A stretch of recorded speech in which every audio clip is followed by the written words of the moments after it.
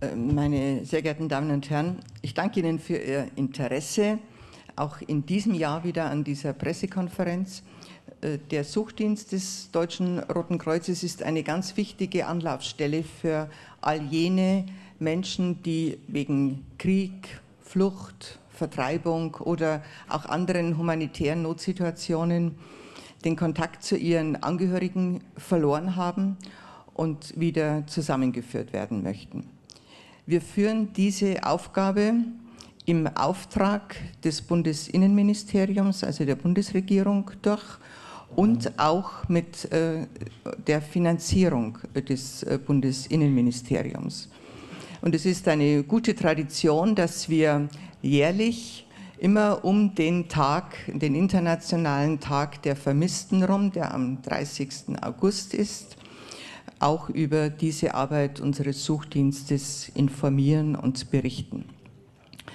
Im Mittelpunkt äh, dieses heutigen Gesprächs steht, einmal, steht einmal der seit äh, zehn Jahren andauernde Syrien-Konflikt und zum Zweiten natürlich auch die aktuelle Situation in Afghanistan. Wir möchten äh, die Aufmerksamkeit dabei lenken auf diejenigen Familien, die äh, durch diese Konflikte auseinandergerissen äh, wurden und werden und eine Zusammenführung wünschen.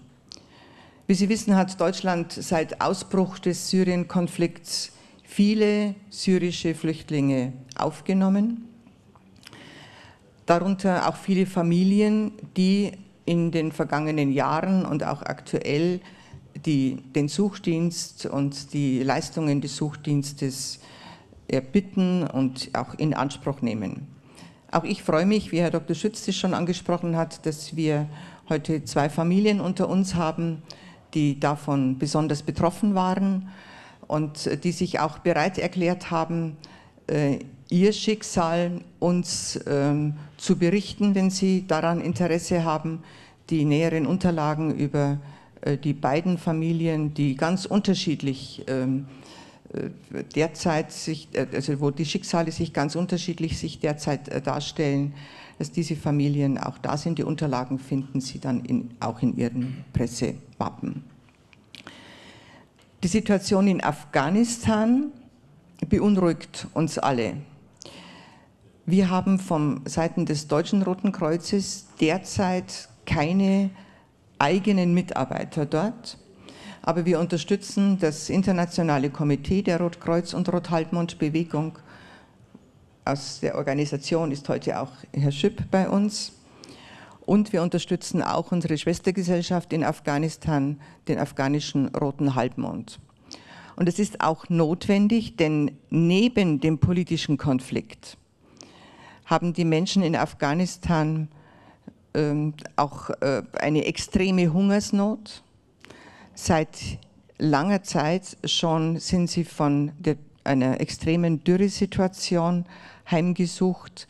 Etwa die Hälfte der Bevölkerung in Afghanistan ist auf humanitäre Hilfe angewiesen.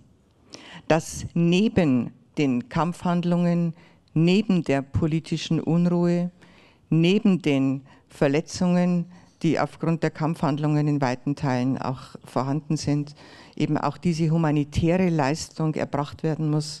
Das sollten wir nicht aus den Augen verlieren. Was die Familienzusammenführung betrifft, erwarten wir im Suchdienst eine, einen deutlichen Anstieg der Anfragen aus Afghanistan. Wir spüren das jetzt schon Hunderte von Anrufen und Anfragen gehen bei den Suchdienststellen im ganzen Deutschland äh, jetzt schon mit ein. Dazu kann aber sicher Frau Civoki, die Leiterin unserer Suchdienststelle, noch einiges zusätzlich äh, sagen.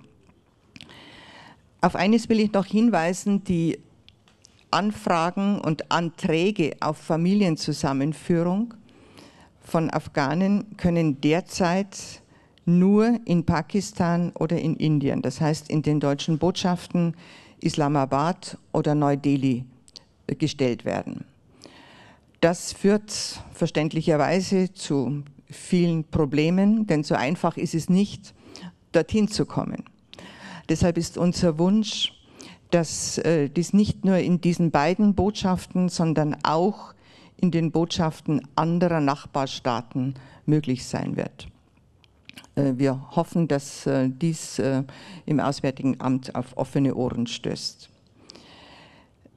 Wir machen diese Arbeit des Suchdienstes nicht nur mit nationaler Arbeit, sondern es funktioniert nur und ist nur dann erfolgreich, wenn wir es auch verbinden mit, der, mit den Kenntnissen, den Erkenntnissen und der Arbeit des Internationalen Komitees der Rotkreuz- und Rothalbmond-Bewegung.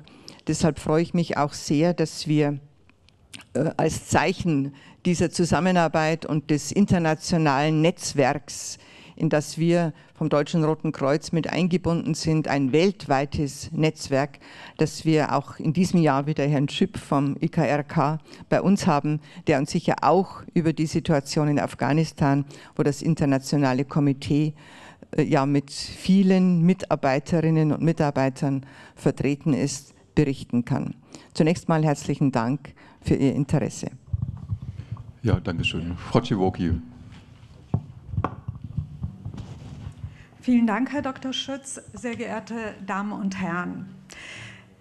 Es gibt viele Gründe, weshalb Menschen in bewaffneten Konflikten vermisst werden. Sie können gezielt oder auch ungeachtet der kämpferischen Auseinandersetzung der Konfliktparteien zum Opfer fallen. Sie können gefangen genommen werden und an geheimen Orten festgehalten werden. Oder Familien werden getrennt, wenn sie sich auf die Flucht begeben, um den lebensbedrohlichen Verhältnissen aufgrund der Konflikte zu entfliehen. Der Suchdienst des Deutschen Roten Kreuzes erhält jedes Jahr Hunderte von Anfragen, die Vermisste in aktuellen Konflikten betreffen. Die Anfragen kommen zum einen von Menschen, die sich in Deutschland in Sicherheit befinden und äh, ihre Familien auf der Flucht den Kontakt zu ihren Familien verloren haben und nicht wissen, wo sie sich aufhalten. Zum anderen kommen die Anfragen auch aus dem Ausland über unser internationales Suchdienstnetzwerk, wenn auf der Flucht getrennte Familien vermuten, dass sich Teile der Familien in Deutschland aufhalten. Bei der Suche nach vermissten Familienangehörigen von in Deutschland lebenden Flüchtlingen arbeitet der Suchdienst des Deutschen Roten Kreuzes sehr eng mit dem internationalen Suchdienstnetzwerk der Rotkreuz- und Rothalbmond-Gesellschaften und natürlich mit dem zentralen Suchdienst des Internationalen Komitees vom Roten Kreuz. Der, die Rolle des zentralen Suchdienstes ist für unsere Arbeit von unschätzbarem Wert, weil nur das Internationale Komitee vom Roten Kreuz hat Zugang zu Inhaftierungsstätten, äh, zu, ähm, ähm, ist vertreten in vielen Regionen, Konfliktregionen der Welt und ermöglicht uns damit auch die, eine erfolgreiche Suche und auch eine Familienzusammenführung. Ich möchte jetzt ganz kurz auf die Besonderheiten der Suche in Syrien. Frau Hasselfeld erwähnte vorhin, dass der Schwerpunkt unserer heutigen Pressekonferenz ähm, der zehnjährige Syrien-Konflikt ist.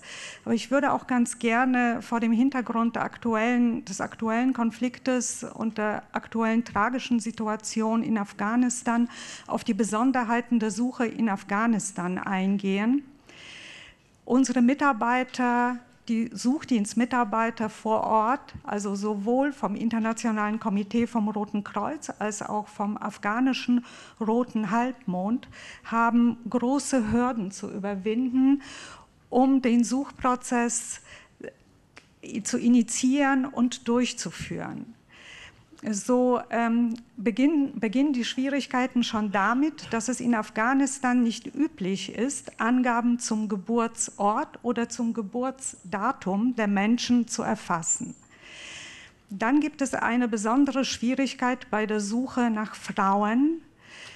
Ähm, bei Frauen werden keine Nachnamen erfasst. Das heißt, wenn wir in Deutschland überhaupt eine Suchanfrage initiieren wollen, müssen wir ein männliches Familienmitglied benennen, nach dem dann zuerst gesucht wird, um Frauen in Afghanistan zu suchen dann ist ähm, die Situation in Afghanistan nicht nur seit einigen Wochen, sondern seit vielen Jahrzehnten sehr schwierig, angespannt. Es gibt umkämpfte Regionen und das hat zur Folge, dass unsere Mitarbeiter des internationalen Suchdienstnetzwerks sich großen Gefahren aussetzen, wenn sie in Regionen suchen, die umkämpft sind. Deshalb müssen manchmal die Suchaktivitäten über mehrere Monate ruhen, damit die Mitarbeiter wieder in die Dörfer und Ortschaften reinkommen, wo die Vermissten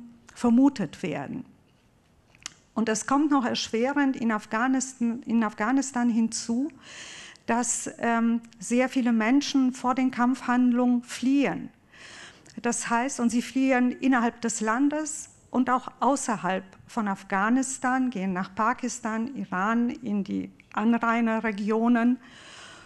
Und ähm, wenn wir dann auf der Suche sind nach dem Vermissten, kann sich natürlich herausstellen, dass an dem letzten Wohnort des Vermissten dieser nicht mehr anzutreffen ist. Und dann müssen unsere Mitarbeiter an die Dorfvorsteher, an die Imame, an die Nachbarn sich wenden, um so weitere Nachforschungen einzuholen.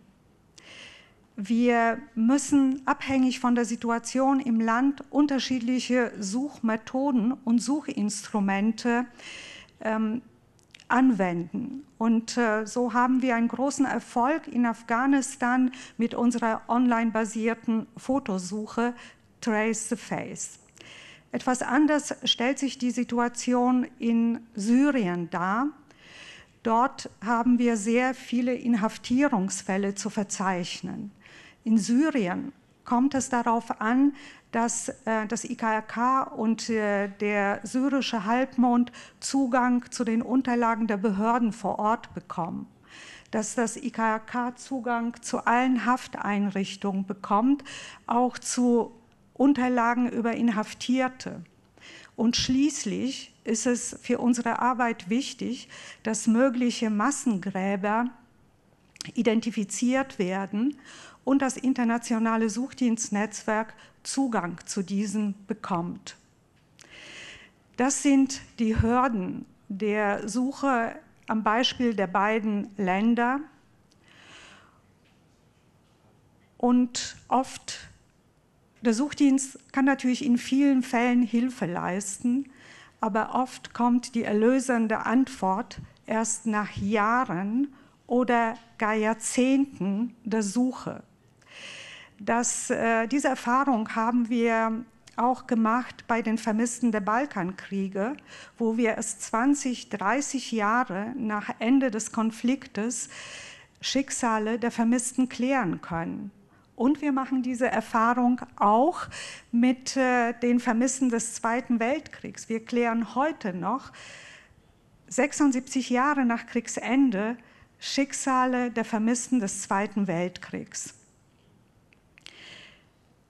Für die Familien ist diese jahrzehntelange oder jahrelange Wartezeit auf die erlösende Nachricht sehr schwer zu ertragen.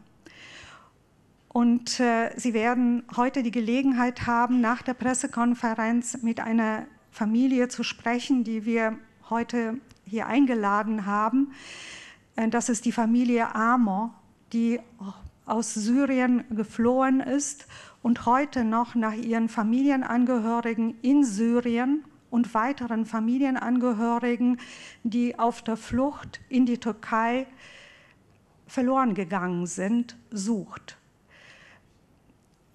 Ähm, das äh, führt Ihnen auch vor Augen, wie langwierig die Suche sein kann. Und äh, jetzt ähm, können Sie sich vielleicht auch besser vorstellen, vorstellen, warum das so ist, aufgrund der vielen Hürden, die diese Suchprozesse mit sich bringen.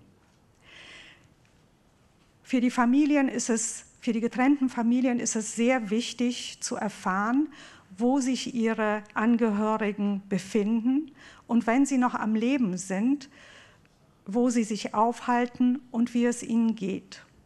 Soweit sie den Aufenthaltsort der getrennten Familienangehörigen erfahren haben, richtet sich ihr drängendstes Bedürfnis, wieder als Familie zusammenleben zu dürfen. Und hier unterstützt der DRK-Suchdienst auch die getrennten Familien in, dem, in den langwierigen Verfahren der Familienzusammenführung, indem er die Familien über die rechtlichen Voraussetzungen einer Familienzusammenführung berät, indem er sie unterstützt bei äh, den langen Verfahren bei den deutschen Behörden und deutschen Auslandsvertretungen. Aber der DRK-Suchdienst bangt auch und hofft mit den Familien zusammen auf einen positiven, auf einen positiven Ausgang des Verfahrens. Und das zeigt Ihnen das Beispiel der Familie Mukbel, die eine sechsjährige Odyssee durchmacht hat, durchlebt hat, bis sie in Deutschland vor kurzem zusammengeführt wurde. Sie haben also die Gelegenheit, auch auf diese Familie zuzugehen und sie zu ihren persönlichen Erfahrungen und zu ihrem Schicksal zu befragen. Gut, danke schön, Frau Ciwoki. Okay, danke, vielen, vielen Dank. Dank. Dann äh, Martin Schüb vom Internationalen Komitee vom Roten Kreuz. Sehr geehrte Damen und Herren, erstmal einen herzlichen Dank an das DRK, ähm, an Präsidentin Hasselfeld für die Organisation dieser Pressekonferenz zum wichtigen Thema der Vermissten äh, und auch für die Einladung, die, um die internationale Seite dieser Suche äh, zu präsentieren. Die vergangenen 18 Monate äh, der weltweiten Pandemie haben uns auf eine bedrückende Weise erfahren lassen, wie es ist, wenn man Familie und Freunde äh, vermisst. Das ist jedoch eine tägliche Realität für Hunderttausende äh, weltweit. Und diese quälende dieses quälende Warten äh, nimmt kein Ende. Internet, das internationale Suchdienstnetzwerk der Rotkreuz- und Rot-Halbmond-Bewegung hat weltweit über äh, 210.000 Personen als äh, vermisst registriert, die durch Konflikte, Gewalt, Flucht und Vertreibung und Naturkatastrophen äh, von ihren Familien getrennt wurden oder verschollen sind. Leider ist diese beeindruckende Zahl von über 210.000 nur die Spitze des Eisbergs. Äh, heute möchte ich auf drei Aspekte äh, dieser globalen humanitären, Tra humanitären Tragödie eingehen. Erstens die schrecklichen Auswirkungen auf das Leben der Menschen.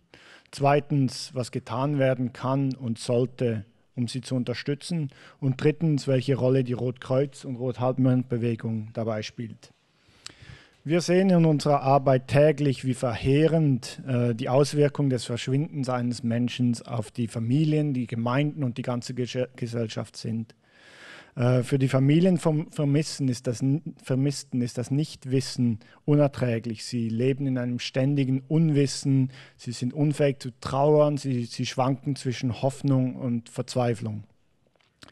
Neben dem furchtbaren Schmerz, der über die Jahre nur noch zunimmt, wird die psychische und physische Gesundheit der Familien auch in Mitleidenschaft gezogen. Und häufig sind sie auch mit zahlreichen bürokratischen, rechtlichen oder wirtschaftlichen Schwierigkeiten konfrontiert. Die Pandemie äh, und all die Einschränkungen und wirtschaftlichen Herausforderungen haben die Situation für Familien nur noch schwieriger gemacht. Manchmal, wie Sie auch schon erwähnt haben, kann die Klärung eines Falles Jahre oder Jahrzehnte dauern. Aber die Familien geben die Suche nie auf und haben das Bedürfnis und das Recht zu erfahren, äh, was mit ihren Angehörigen geschehen ist. Also was, sollten, was sollte getan werden, um die Familien dabei zu unterstützen? Zum einen brauchen die Familien eine kontinuierliche und verstärkte Anstrengung äh, in der Suche nach ihren Angehörigen, um Antworten zu erhalten. Dazu gehört die Stärkung der nationalen Rahmenbedingungen überall auf der Welt für vermisste Personen und die Verbesserung der Sammlung und Verarbeitung von Informationen. Wichtig ist es auch, dass äh, Behörden die Familien unterstützen, auf ihre Bedürfnisse eingehen, ihnen zuhören, Informationen weiterleiten. Wir dürfen auch nicht vergessen, dass Vermisste während eines Konfliktes durch das internationale humanitäre Völkerrecht und zu jeder Zeit durch die internationalen Menschenrechtsnormen geschützt sind. Staaten und Parteien sind verpflichtet zu verhindern, dass Menschen verschwinden und müssen für diejenigen, die verschwunden sind, Rechenschaft ablegen und auf die Bedürfnisse der Familien eingehen. In Gesellschaften, die durch jahrelange Gewalt gespalten sind, wie zum Beispiel in, in Syrien, äh, wo mindestens Zehntausende Menschen vermisst werden, ist und bleibt die Frage der Vermissten ein zentraler und entscheidender Baustein äh, zur Versöhnung. Die Frage der Vermissten muss daher auch in erster Linie humanitärer Natur sein und darf nicht ein Teil einer politischen Agenda werden. Schließlich müssen alle Anstrengungen unternommen werden, um das, diese vermeidbaren Tragödien erstmal zu verhindern. Äh, um zu verhindern, dass Familien getrennt werden und um ihnen zu helfen, den Kontakt aufrechtzuerhalten, falls dies doch geschieht. Der, das internationale Suchdienstnetzwerk des Rotkreuzes und des Roten Halbmondes vereint 192 nationale Gesellschaften, äh, deren Föderation und das internationale Komitee vom Roten Kreuz, IKK, in dieser wichtigen Arbeit. Dank diesem einzigartigen weltweiten Netzwerk arbeiten wir über Grenzen hinweg, über Frontlinien hinweg, äh, um Familien und Behörden bei der Suche nach Vermissten zu helfen äh, und Familien wieder mit, äh, zusammenzubringen oder Angehörige von Vermissten äh, zu unterstützen. Diese Arbeit hat eine lange Geschichte, äh, die ihren Anfang auch, auch hier nahm. Das erste IKK-Suchbüro wurde 1870 äh, während des Deutsch-Französischen Krieges eingerichtet. und seit über 150 Jahren hilft also der zentrale Suchdienst Familien in Kontakt zu bleiben, einander zu finden, das Schicksal vermisster Angehörigen zu erfahren oder die Abwesenheit eines geliebten Menschen zu bewältigen. Und jedes Jahr finden Menschen vermisste Angehörige. Sie erfahren etwas über das Schicksal eines Familienmitglieds. Allein im letzten Jahr konnten fast 9500 Personen gefunden werden, die von ihren Familien als vermisst gemeldet worden waren. Das sind durchschnittlich 26 Personen pro Tag oder mehr als eine Person pro Stunde. Ein einzelner gelöster Fall kann zwar wie ein Tropfen auf einen heißen Stein erscheinen, äh, aber jeder gelöste Fall bedeutet für eine Familie die ganze Welt. Ähm, wir wissen aber auch, dass mit jedem Konflikt mehr Menschen getrennt werden und mehr Menschen vermisst werden. Äh, in Afghanistan, ähm, wo wir, wie Frau Hasselfeld auch schon erwähnt hat, seit, seit langer Zeit eine große Operation unterhalten und weiterhin mit über 1800 Angestellten vor Ort tätig sind. In Afghanistan haben wir auch während den jüngsten Kampfhandlungen die Evakuierung von Verletzten und die Bergung von Toten fortgesetzt. Äh, wir bemühen uns auch weiterhin, äh, die Bedürfnisse von Familien zu ermitteln und die Anzahl der getrennten afghanischen Familien zu erfassen. Diese Zahl könnte, äh, wie Sie auch erwähnt haben, in den kommenden Wochen weiter steigen. Äh, und Familien im Ausland könnten Schwierigkeiten haben, den Kontakt zu ihren Angehörigen in Afghanistan aufrechtzuerhalten.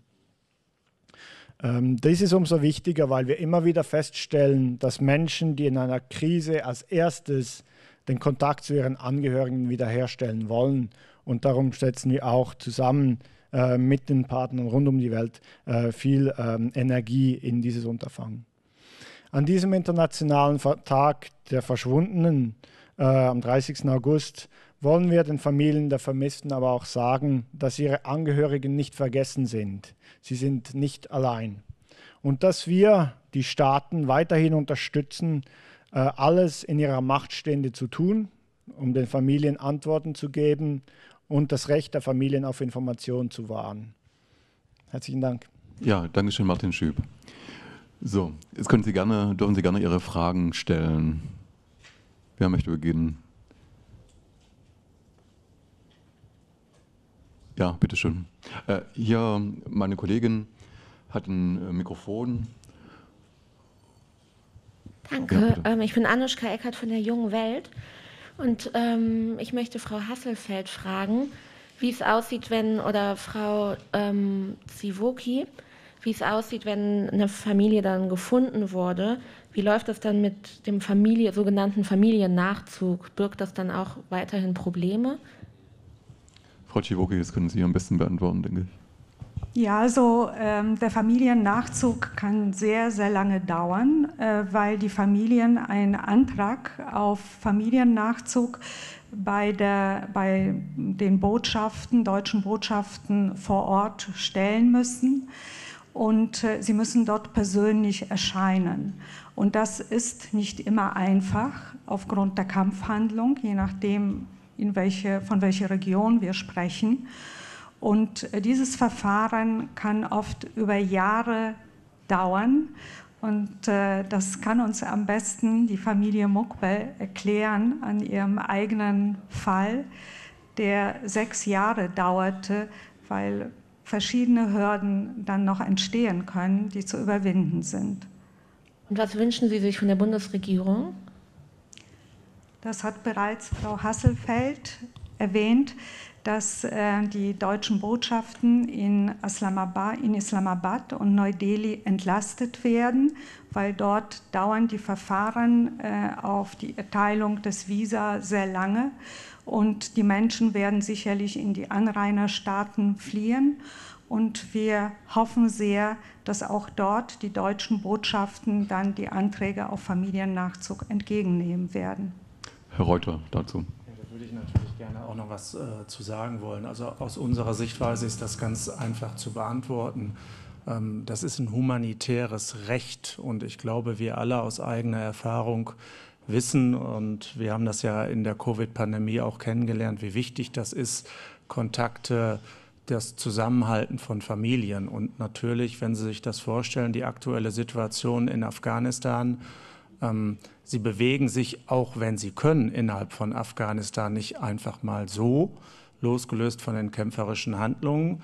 Und dann ist es auch keine einfache Angelegenheit, eben für einen Afghanen aus Afghanistan heraus mal nach Islamabad ähm, oder in eine andere Botschaft hinzukommen. Also ist unserer, unser dringender Appell, dass die Bundesregierung unter Berücksichtigung humanitärer Aspekte natürlich eine deutliche Erleichterung. Und eine deutliche Erleichterung heißt einen deutlich leichteren, unbürokratischeren Zugang ähm, für Familienangehörige und für Flüchtlinge, die zu ihren Familien wollen, äh, sicherstellen. Und das fängt ganz banal davon an, dass es mehr Mitarbeitende in Visaabteilungen geben muss und dass es mehr Botschaften mit deren Visaabteilungen geben muss, wo Flüchtlinge eine Chance haben, ihre Familienzusammenführung äh, sicherzustellen. Ja, Dankeschön. Weitere Fragen?